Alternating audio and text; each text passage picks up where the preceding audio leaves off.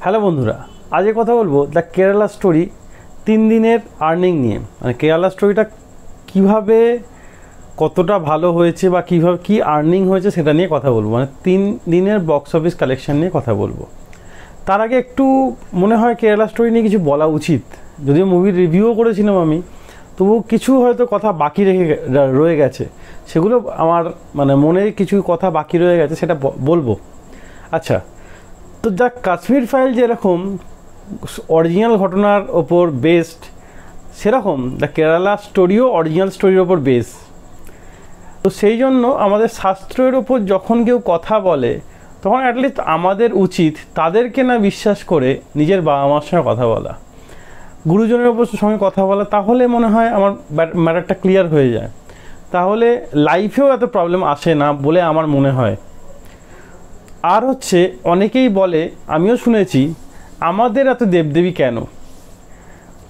কারণ আমরা হিন্দুরা বিশ্বাস করি, সমস্ত জায়গায় সমস্ত জায়গায় ভগবান অবস্থান করছেন ইচ অ্যান্ড এভরি জায়গায় ভগবান আছেন।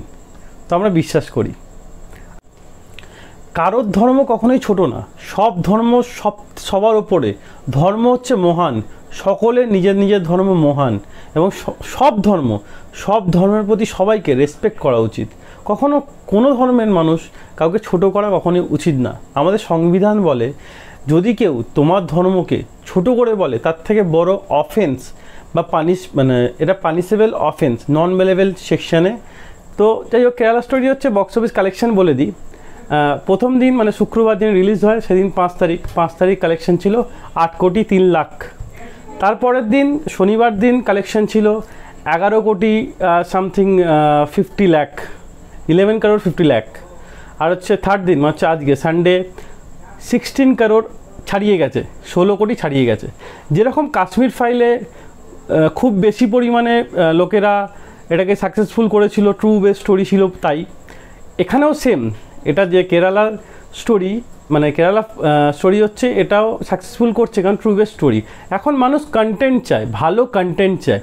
মানে অরিজিনাল স্টোরি মানুষ বেশি দেখে। এমন নয় যে ভালো ফিল্ম স্টারকে নিয়ে এলাম, সে একশো কোটি টাকা নিয়ে এলো।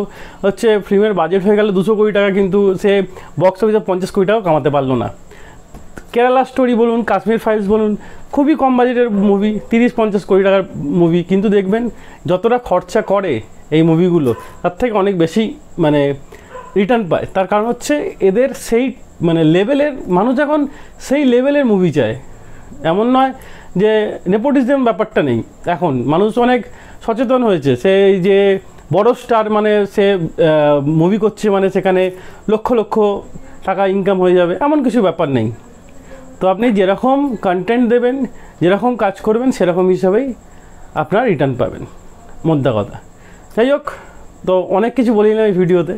তো ভিডিও যদি ভালো লেগে থাকে, একটা লাইক অবশ্যই দেবেন। এরকম আরও ভিডিও পেতে চ্যানেলটি সাবস্ক্রাইব করে পাশে থাকা বেল আইকনটি বাজিয়ে দেবেন। দেখা হচ্ছে পরের ভিডিওতে। দেখার জন্য ভালো থাকুন, সুস্থ থাকুন। ভিডিও দেখার জন্য ধন্যবাদ। আর ফেসবুক থেকে দেখে থাকলে অবশ্যই চ্যানেলটি ফলো করে রাখবেন। দেখা হচ্ছে পরের ভিডিওতে। তখন ভালো থাকুন, সুস্থ থাকুন। ভিডিও দেখার জন্য ধন্যবাদ।